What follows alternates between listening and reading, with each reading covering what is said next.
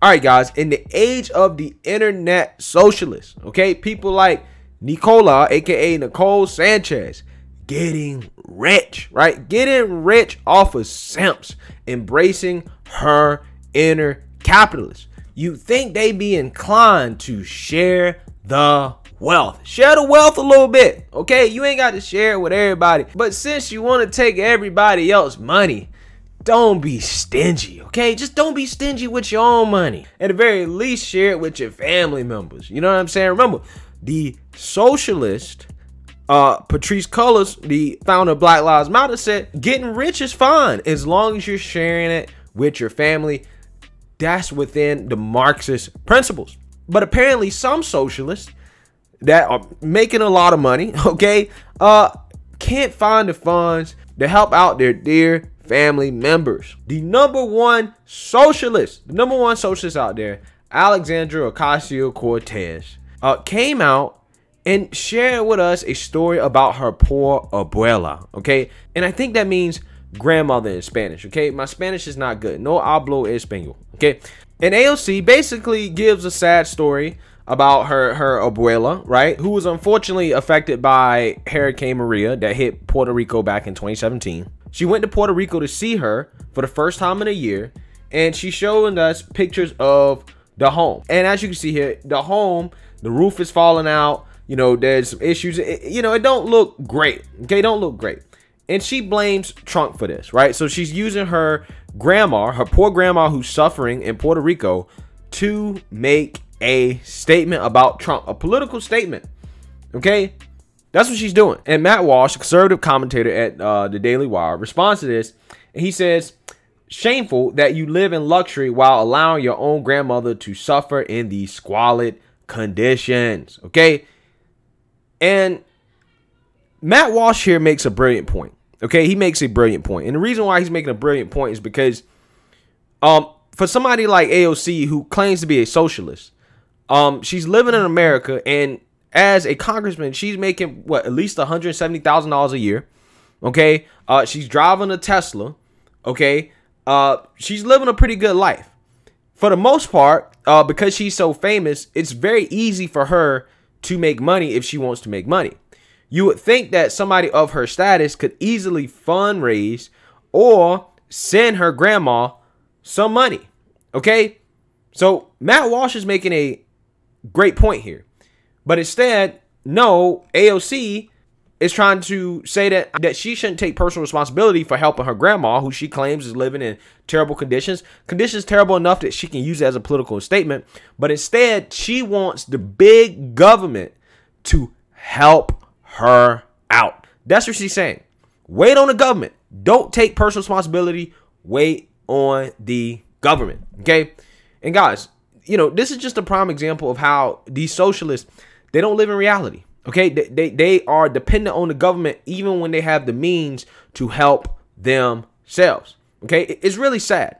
It's really sad. So AOC responds to Matt Walsh and she says, quote, you don't even have a concept for the role that first gen firstborn daughters play in their families. My abuela is okay, but instead of only caring for mine and letting others suffer, I'm calling attention to the systemic injustices you seem totally fine with in having a U.S. colony.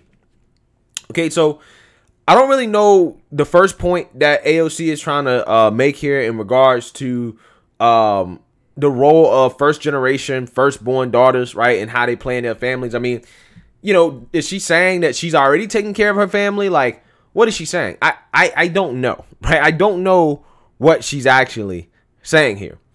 Uh, but you know, the second point that she's making is that she's trying to say that Matt Walsh doesn't care about those in Puerto Rico, that he is heartless, and that just because he feels like it's silly to wait on the government to do something that she could fix herself, that makes him heartless. And don't get me wrong, I don't believe that the government shouldn't do anything. Obviously, the government should help Puerto Rico. Okay, I, I, think that's pretty obvious. But his overall point is that you should not wait and depend on the government to do something that you can fix yourself, even if it technically would be the government's responsibility to help. And this brings up an even broader point about the practical realities of government, okay, that a lot of socialists don't understand because a lot of these socialists get up here and they say, well, we deserve free healthcare. Free healthcare is a right. Uh, free colleges are right. All these things are rights, okay, to them. They think that they're entitled to something from the government just for being a citizen. Okay, and listen, here's the thing: if you just made that statement with no context, I think a lot of people would probably agree with it, right? The government should help their citizens, okay? But it's one thing to say that and to believe that, and it's another one to see how that actually works in practical reality. Now, again, that's not to say that the government should not help their citizens, but in what way should the government help? How should the government help? I think those are the key questions that socialists really don't know how to answer. Their answer is always big government universal program that is inefficient and wasteful and really causes more headache, right? So again, from a practical perspective, it's better to rely on yourself than to rely on the government. Period. Remember, it's so bad that AOC felt the need to make a political statement. So she felt that bad about it. You would think she would act on her own, just because he, you know, is criticizing her for that. Um, apparently he's a bad person, right? So, in response to this, Matt Walsh does the most epic thing that I've seen in a long time because he's honestly making a really good point. He decides to start a GoFundMe for Alexandria Ocasio Cortez, Abuelos, and Sandro Home, okay? In which there was a goal of raising uh, about $50,000, and they created this four hours ago, and now it's raised over $57,000. $57,000 in four hours, okay? And uh, a lot of people like Ben Shapiro and uh, all the guys at Daily Wire have donated to this, okay? And I think this is hilarious. And, you know, some people don't like it as much, but I think it actually makes a great point. The point that he's making is, is that instead of complaining on the internet, right, you can take the initiative to help your grandma, to help the people that you love, okay? You should not depend on the government to do what you can do for yourself because the government will always fail, no matter who's in office, right? Whether it's Trump, Biden, Obama, Bush, Clinton, anybody, right? You should never depend on them to do for what you can do for yourself. Period. Period. So, yes, it, it is unfortunate what's going on in Puerto Rico, okay? But Alexandra Ocasio Cortez is living in the United States. She's making upper middle class money. Okay. She drives a nice Tesla. She's probably going to be rich for the rest of her life. She's going to be very well off because of her fame. You can always monetize fame. So I personally I don't see what's stopping her from taking the initiative to help her grandma.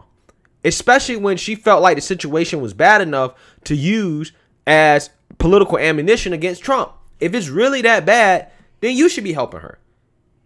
And the fact that Matt Walsh took the initiative to do this fundraiser for AOC's grandma, he's basically driving home the point to AOC that you could have easily helped her yourself without having to depend on the government or ask the government for help. Now, I get it. AOC is asking uh, the government for more funds and more help, and that's something she should talk to Biden about. So Trump is out of office. Ain't nothing Trump can do about what happened, right? But everybody doesn't like this as much as I do.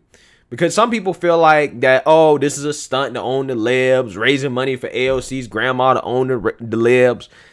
Listen, I, I do generally agree that uh, the right's obsession with owning the libs is kind of ridiculous to a certain extent, right? It, it doesn't really a- accomplish much, okay? Uh, but in this case, I think it actually does. I think it actually makes a broader political point that underlines what conservatism is actually supposed to be, okay? And I think that's important because if you guys remember, uh, AOC, she raised money for Texas when Texas was basically frozen. When Texas was frozen, AOC raised money. I think she raised like at least two, three, four, five million dollars, something like that. And um, she got a lot of credit for that, right? And I would give her credit for that because she didn't have to do that. But yet she used her star power to do it. And a lot of people called it a political stunt at the time. A lot of people on the right called it a political stunt. And it probably was a political stunt, just like this is probably a political stunt. But at the end of the day, the, the political stunt, it does help people, right? It's not like it's a political stunt that doesn't help anybody. It does help somebody. And the fact is, is that this political stunt, just like AOC's political stunt, can be seen as the opposition putting aside politics, okay, and helping those in need. Showing a more human side of people, even if it is just to own the libs, even if it is just to own the conservatives, right? Somebody's getting helped out from it, right? Uh, and hope, you know, assuming that that's where the donations are going. So, in my opinion, I, I really don't have a problem with it. And I think that, you know, sometimes killing them with kindness is actually the way to go, especially when it comes to the left. Okay? Because the perception from the left in terms of what they have of conservatives is that we are heartless and that you know we don't care about our fellow human beings and that's why we don't embrace socialism. When Matt Walsh is showing AOC that individualism and capitalism can actually be much more effective and faster and efficient than the government. And that is the lesson that he's driving home to AOC. And I think he did it in a way that was brilliant and that was also very classy as well.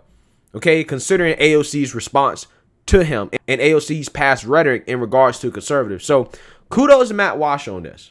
Okay, I don't always agree with Matt Walsh says, but I do respect the fact that um, I think he means what he says, right? Even if I think some of the things he says is a little bit uh, misguided to a certain extent, uh, and he overblows a lot of topics that I don't think are that important.